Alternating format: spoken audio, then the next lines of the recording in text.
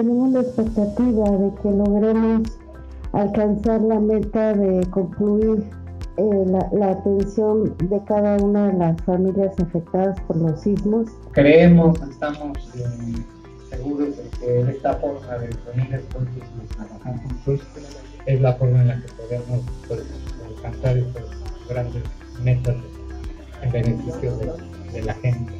Dando cuenta de todo este trabajo que se ha venido haciendo en la reconstrucción de viviendas. Hoy el gobierno federal, conjuntamente con el gobierno del estado, estamos muy juntos, muy unidos. Y esta es la respuesta que se puede dar a favor del pueblo de casi ya 12 mil viviendas que se están entregando, más lo que falta para el año que viene, que van a ser más de 20 mil en total.